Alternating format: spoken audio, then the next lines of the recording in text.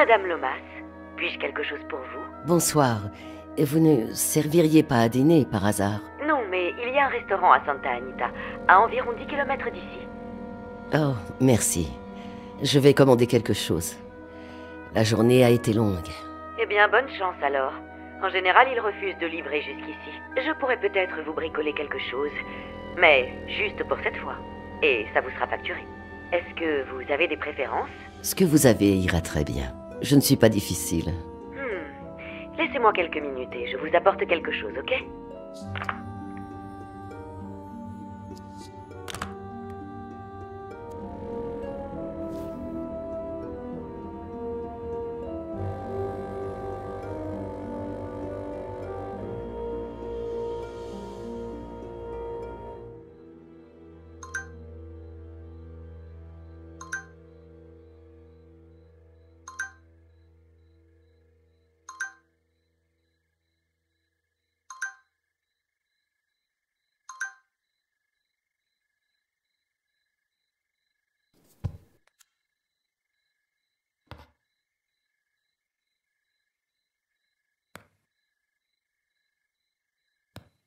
Comme je le pensais, Ed refoule inconsciemment certains de ses souvenirs. Ou il les altère. Mais a-t-il bloqué certaines choses de lui-même ou avec l'aide de quelqu'un?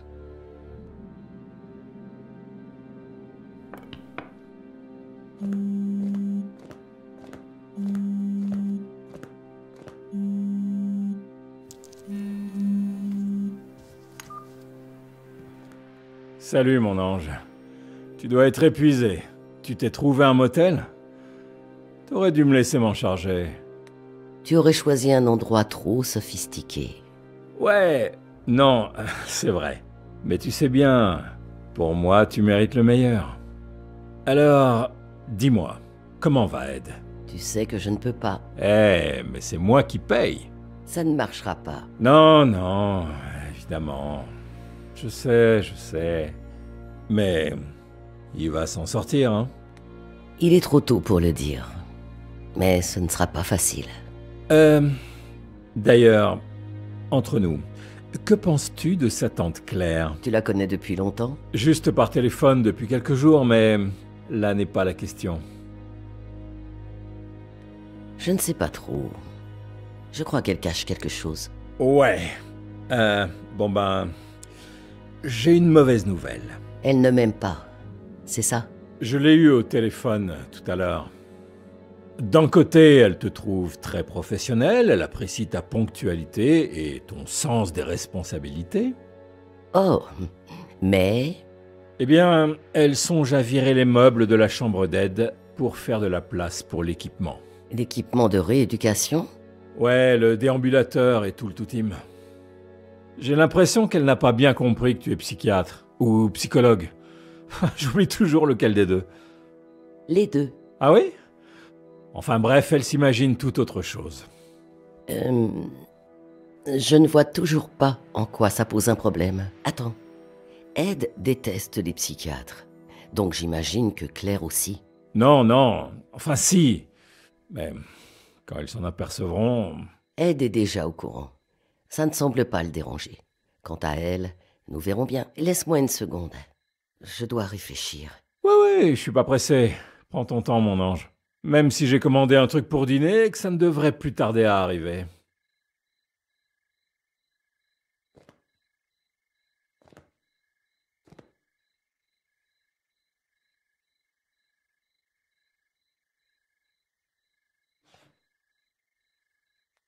Parle-moi des parents de Ed. Eh ben, il n'y a pas grand-chose à dire. Sa mère est morte dans un accident de voiture. Quoi? Avec son bébé, la petite sœur d'Ed. Donc, elle l'a eu. Et puis son père s'est suicidé. Oh, je n'aurais pas cru. Comment? Il a sauté d'un pont. Et tu n'as pas songé à m'en parler avant? Euh... Non, ça m'était sorti de la tête. Ed marche sur les traces de son père. Et je suis sûre que son premier épisode de vertige était le résultat de ce trauma. Ouais, c'était ça. Robert. Ouais, ouais, excuse-moi.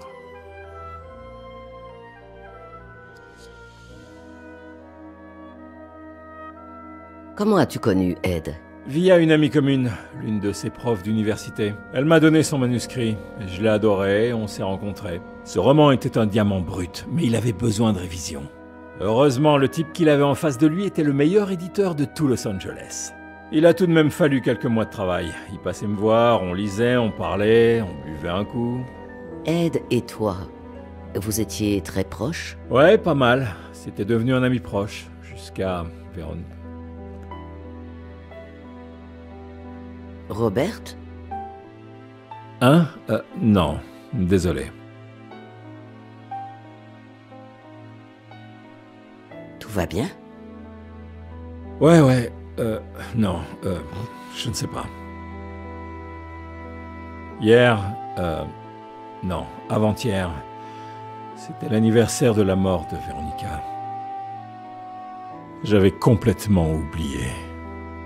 En huit ans, ça ne m'était jamais arrivé. Tu as envie d'en parler? Non, euh, ouais, ça va. Ça fait bizarre.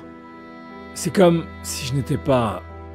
Je me souviens que tu m'avais dit que ça finirait par arriver lors de notre dernière séance. C'est possible. Oh, mon dîner. Je reviens tout de suite.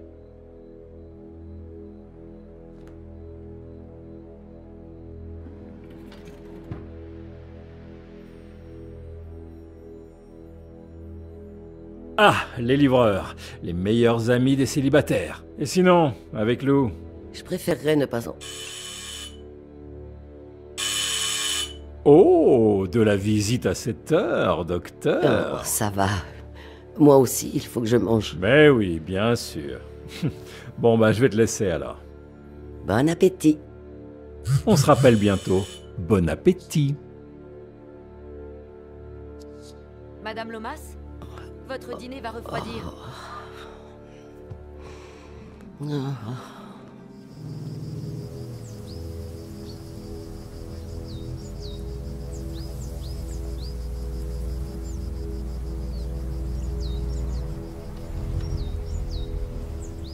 Allez, fils, allons-y.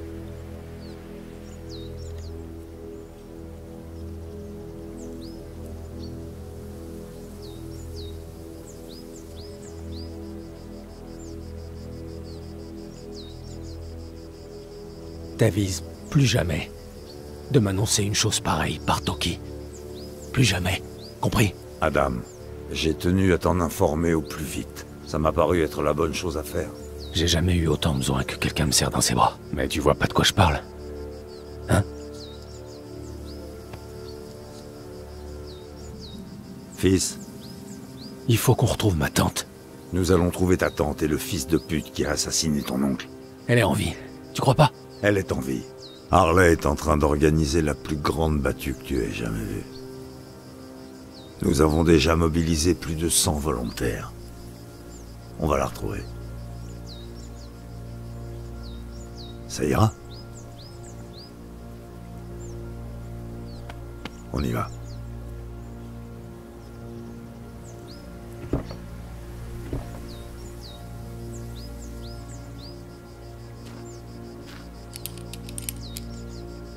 T'es sûr que tu préfères pas que je descende? T'inquiète, j'ai déjà fait ça. Fais juste attention et donne-moi plus ou moins de mou quand je te le dirai.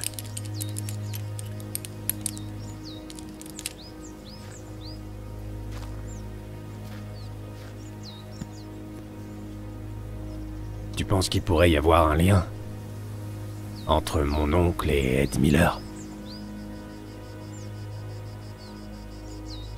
D'après la scientifique, ton oncle est mort Il a été assassiné. il y a un peu plus d'une semaine. Ce jour-là, ou celui d'après, il était censé aller pêcher avec Miller. Ça nous ramène quasiment au jour où la voiture de Miller est tombée de cette falaise. Et ce connard persiste à dire qu'il y avait à bord une fille et un bébé dont personne n'a jamais entendu parler. Pourtant, les pompiers sont descendus et ils n'ont rien trouvé. Nous, on n'est pas là pour éteindre les feux. Et eux, ils sont pas là pour trouver des choses.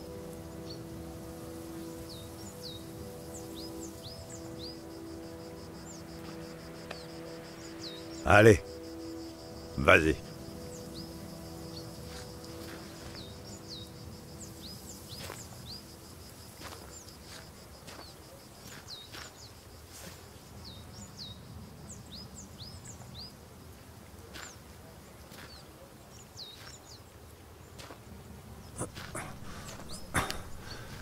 Je me détache, ok?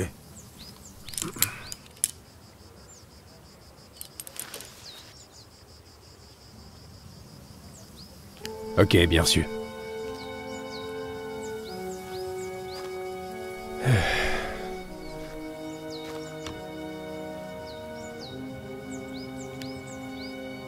J'ai zappé le dîner mensuel, mec.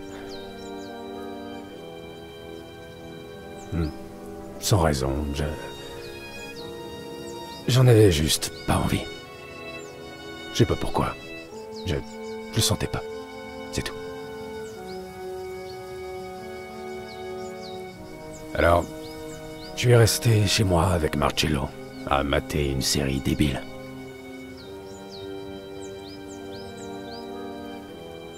Peut-être que si j'y étais allé, Comment aurais-tu pu le savoir? T'as loupé un dîner de famille. C'est tout. Le véritable responsable est là, quelque part, et nous allons le trouver. Ok? Ok. Je peux comprendre que tu ressentes ça. Et je n'ai aucune idée de comment se débarrasser de ce genre de sentiments. Car même le temps n'y fait rien. Tout ce que je sais, c'est que ça ne rime à rien. C'est comme un tuyau qui fuit. Plus on force dessus et... Nick, qu'est-ce que tu me fais là? Tu vires poète? Si ça, ça te redonne pas le sourire, rien ne pourra le faire.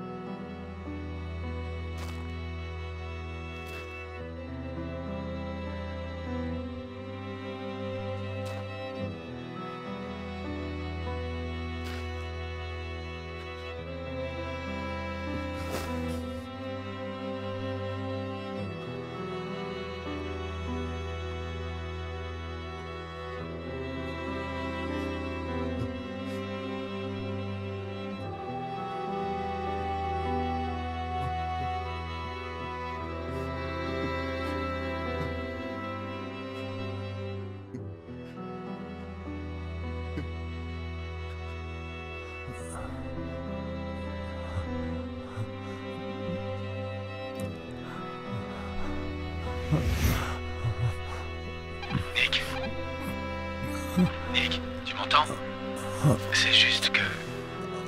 que... Ce que je t'ai dit dans la voiture. Excuse-moi. Adam Qu'est-ce que tu me fais? Tu vires poète?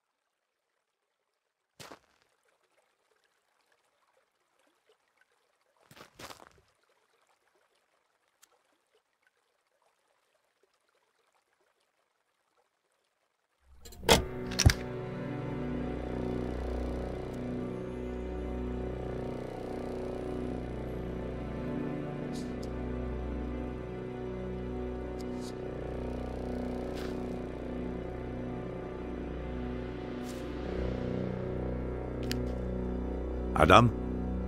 Dis à Harley d'appeler la scientifique. On va avoir du boulot pour eux.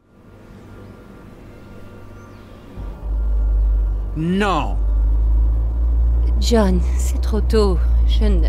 Ça t'arrive de m'écouter quand je te parle? La semaine prochaine... Et c'est reparti. La semaine prochaine... Ça roule bien, là. Il y a toujours des bouchons. Si on ne part pas avant l'aube, on n'arrive jamais à temps pour l'heure du déjeuner. Quand même, c'est pas compliqué.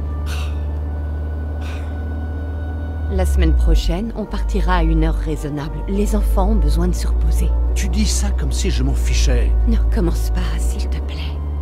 Mais je suis leur père. Tu crois que je m'en moque? Personne n'a dit ça, John. Personne. Ouais.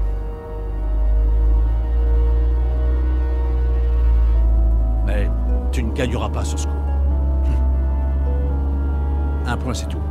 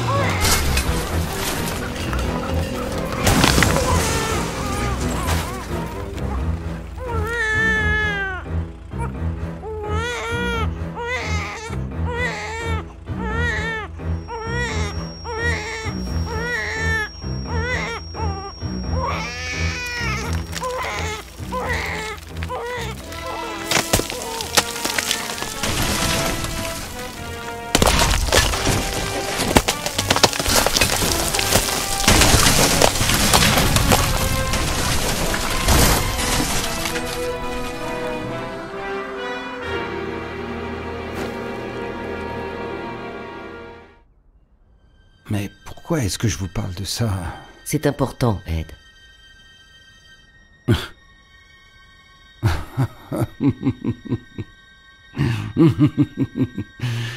Ah, ce n'est pas que pour l'argent, n'est-ce pas? Vous autres, les psys, vous êtes accros. Accros à la douleur des autres. Ouais, en fait, c'est votre kiff, ça. Hein? Parlez-moi de votre père. Qu'est-ce que je disais Pile dans le mille. S'il vous plaît.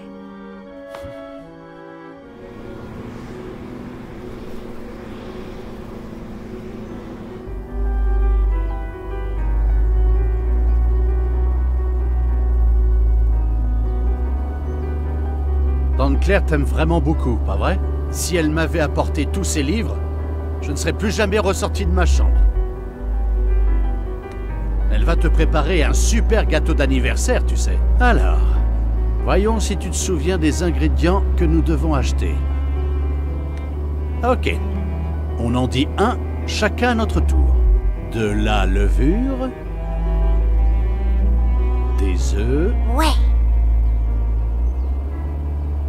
de la farine, ouais,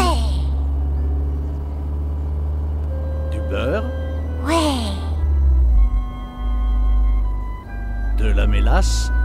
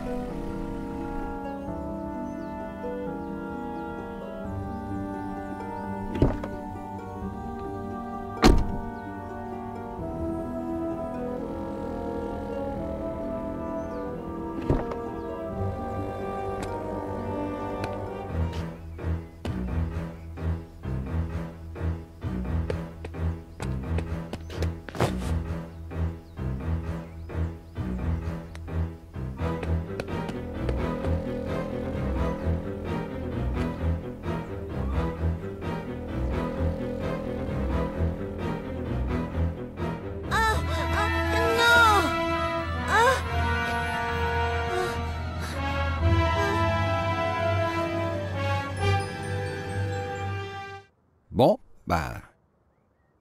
J'ai respecté ma part du marché. N'importe qui serait vraiment exténué d'avoir si longtemps écouté. Hmm.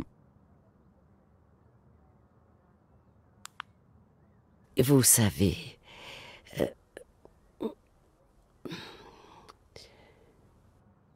vous savez que ce que vous m'avez raconté ne correspond pas exactement à ce qui s'est passé. En avez-vous conscience?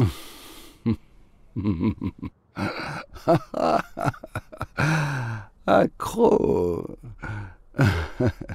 Alors, vous n'en avez jamais assez. Hein.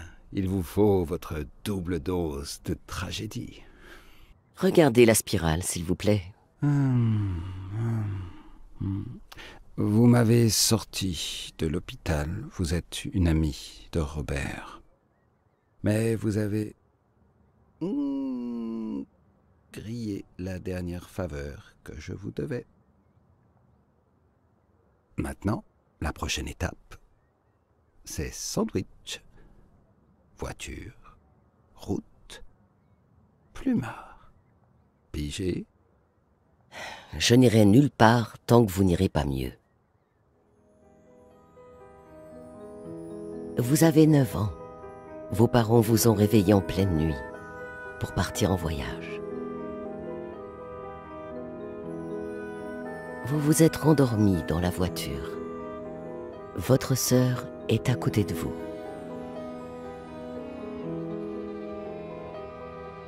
Vous entendez vos parents et progressivement, vous vous réveillez. Je...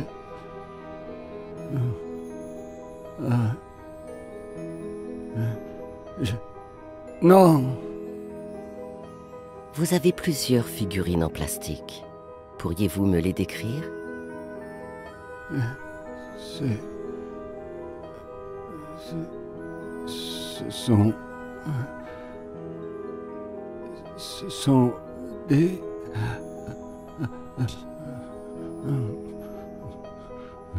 Non Réveillez-vous. Non. Réveillez-vous. Non. Réveillez-vous.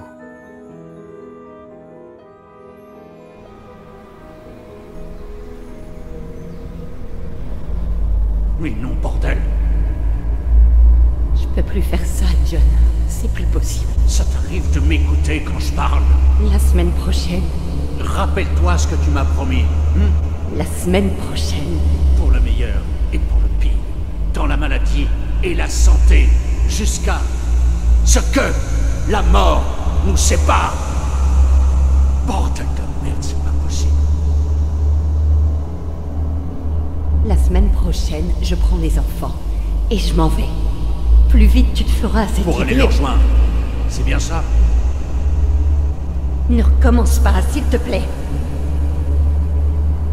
Père de Jenny. Attends, tu crois que je le sais pas? Que je sais pas qui c'est?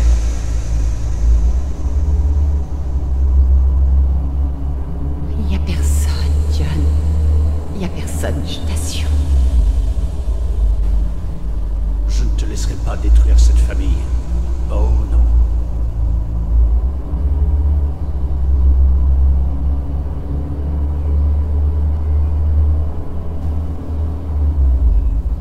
C'est moi qui vais la détruire.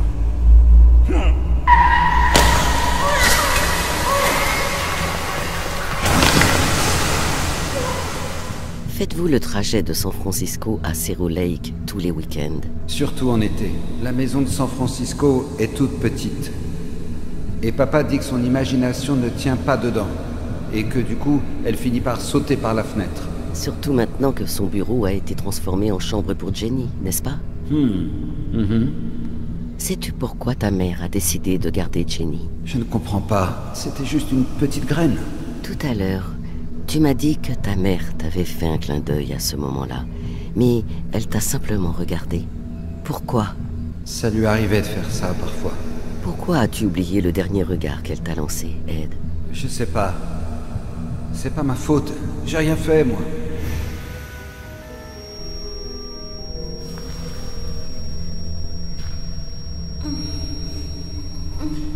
Elle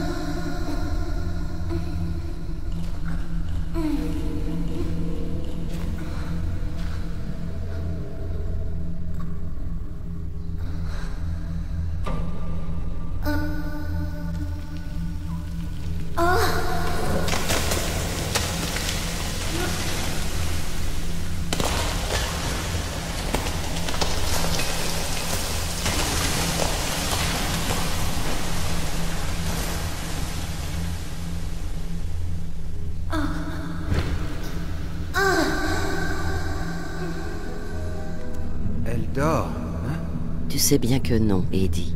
Elle pleure. Jenny pleure. Est-ce qu'elle va bien? Tu sais bien que non, Eddie. Tout à l'heure, tu m'as dit qu'un pneu crevé avait provoqué l'accident. Ouais. Mais tu n'as rien entendu du tout, n'est-ce pas, Ed? Ça, c'est ce que papa va raconter à la police. Tu as été blessé à la clavicule? Le docteur dira que la ceinture de sécurité m'a sauvé, mais elle m'a brûlé la peau. Ton père continuera-t-il à boire entre ce jour-là et son dernier? Tante Claire ne le laissera pas faire. Tante Claire? Elle va venir de San Bernardino pour prendre soin de nous.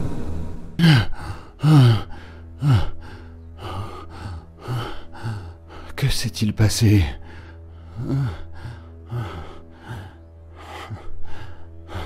Ed.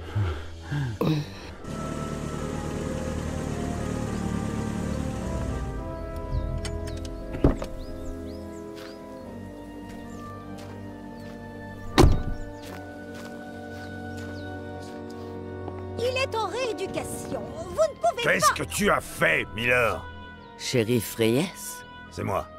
Qu'est-ce que tu as foutu? Docteur Lomas? C'est moi. Oh, euh, pardonnez-moi, euh, je devrais... euh, je, je dois parler à Monsieur Miller. Si vous... Si vous pouviez patienter dehors une minute. Excusez-moi d'interférer. Vous n'avez aucun droit d'être ici. Au nom de mon patient, je vais devoir vous demander de sortir. Je comprends très bien la situation, docteur. Mais c'est très sérieux. Je ne vous demanderai pas ça si... Je comprends bien la situation également, shérif. Vous avez fait irruption dans la chambre de mon patient sans permission. Qu'y a-t-il de si urgent Avez-vous un mandat justifiant la situation? Je sais que ça ne serait pas euh, très euh, régulier, mais si... Si je pouvais juste... Shérif Reyes, je m'en contrefiche. Vous allez quitter cette pièce sur le champ, Docteur, s'il vous plaît. docteur Lomas. Je vais m'occuper de ça. S'il vous plaît.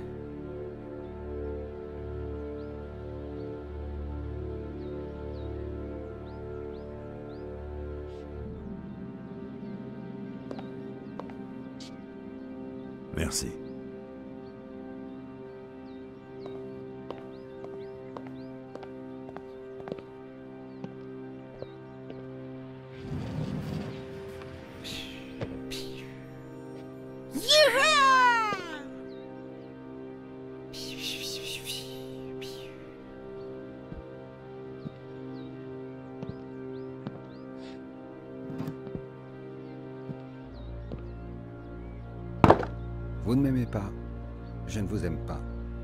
Allons droit au but.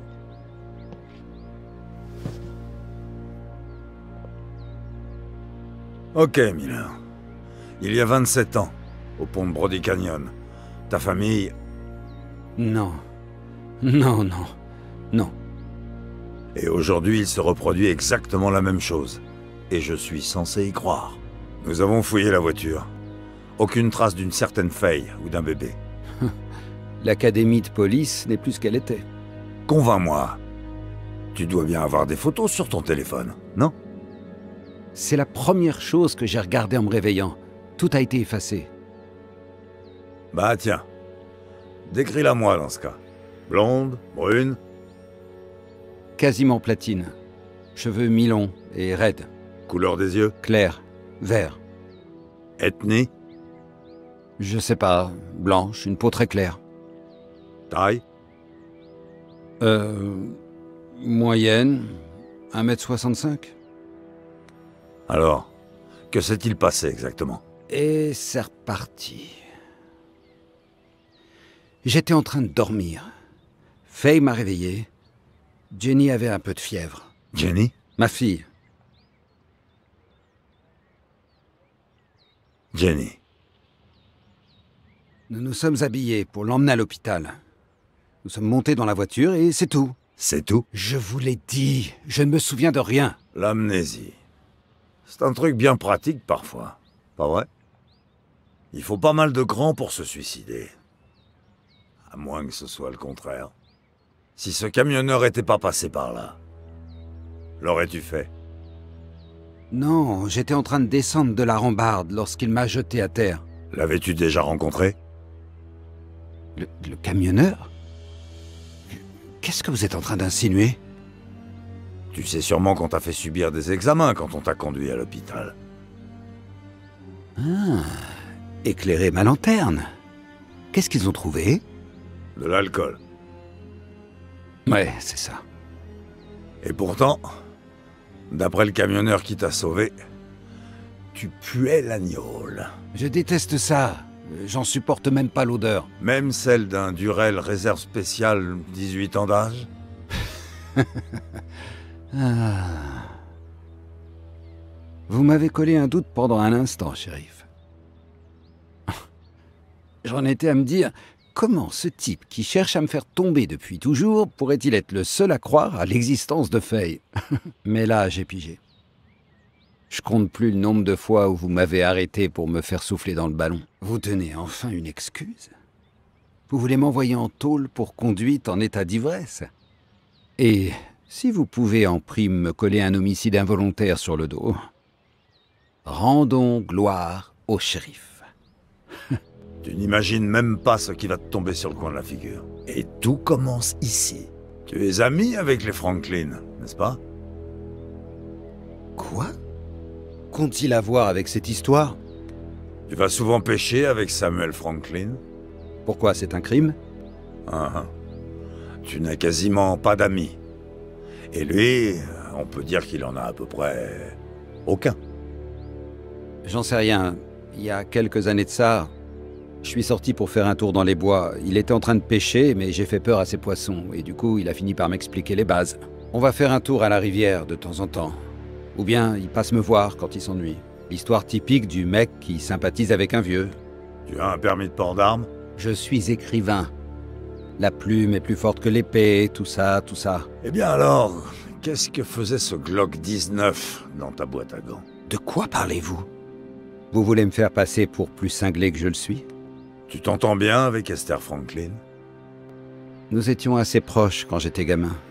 Mais ça s'est arrêté lorsque je suis parti à San Bernardino avec ma tante Cléa. Quand je suis revenu, il doit y avoir quoi 9 ans? On a repris contact. Elle se soucie encore de moi.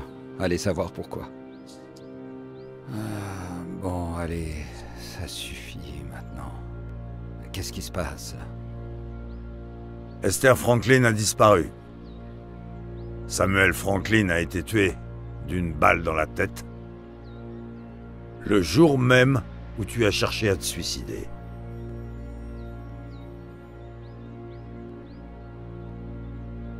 Non. Non. Non. Non. Non.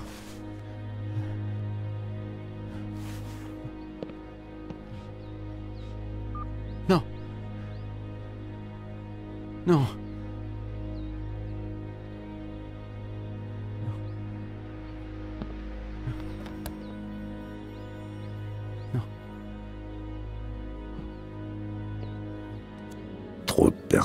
Ont touché.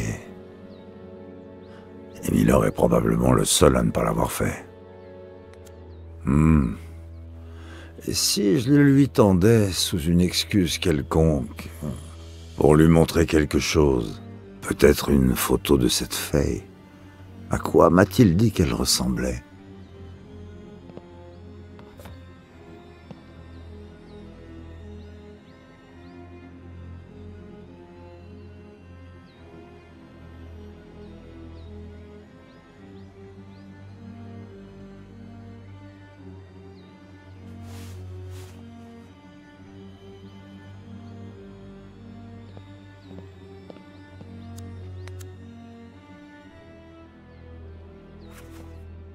J'aimerais te montrer quelque chose.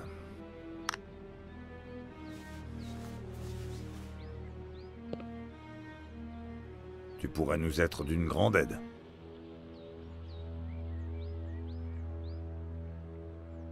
On vient juste de m'envoyer ça.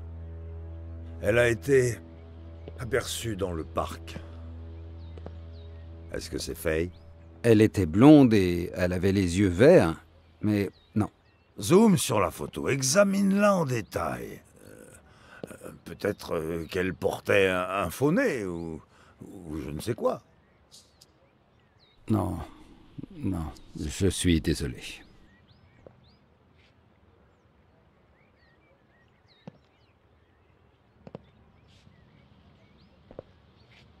Shérif. Retrouvez Esther.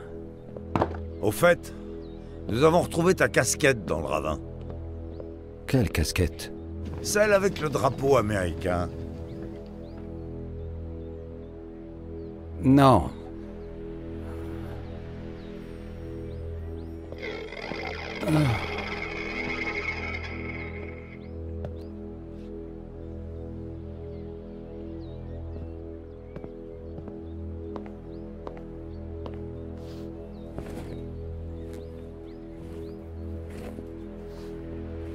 Attendez.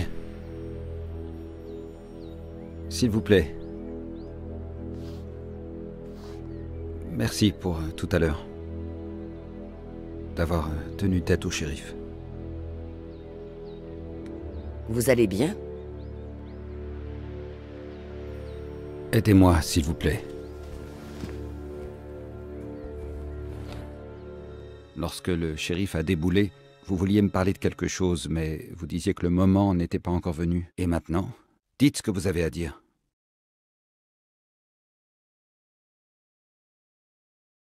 Il me manque encore une pièce du puzzle. Une seule. Fournissez-moi cette pièce, et je vous dirai tout, sans craindre de risquer de vous blesser. Avant cet accident, quelques jours ou quelques semaines avant, si c'est bien ce que je crois, quelque chose que votre père vous a dit à propos de votre mère, ou peut-être l'inverse. Quelque chose qui vous a obligé à choisir un camp.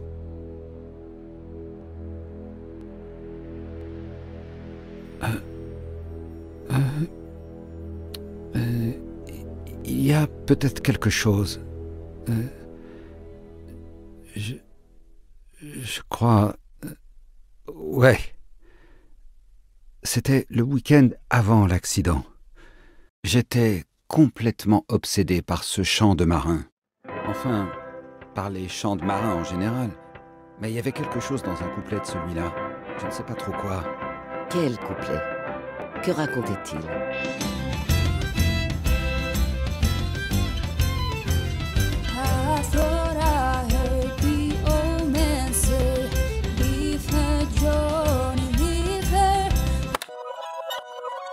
Je me repassais le même passage encore et encore. Pourquoi ce passage-là en particulier? Je ne sais pas trop. Peut-être parce que c'était samedi et que je touchais mon argent de poche le dimanche.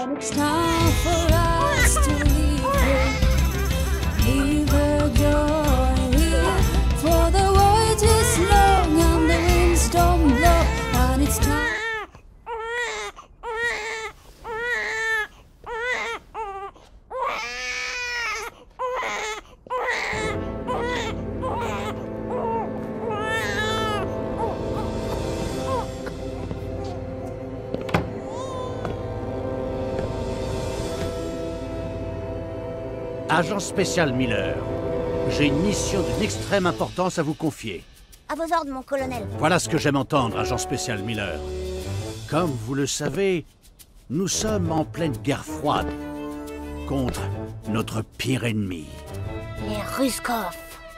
Pas exactement.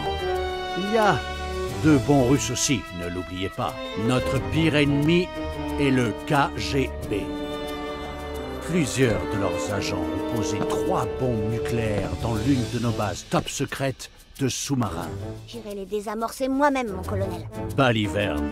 Seul un agent avec ma formation et mon expérience peut s'en sortir dans de telles circonstances. Mais vous venez de dire que vous aviez une mission pour moi C'est le cas, agent spécial Miller. et que c'était super important. Et ça l'est, agent spécial Miller. Quelle est l'importance d'une mission de protection de la première dame? Extrêmement importante, mon colonel. Tout à fait. Je n'aurais pas dit mieux. Vous êtes un sacré génie, Miller. Vous ferez un excellent major. Rien n'est plus important que la première dame. Et de qui devons-nous la protéger, mon colonel? C'est très précisément ce qui nous reste à déterminer. Il y a un agent double parmi nous, un traître.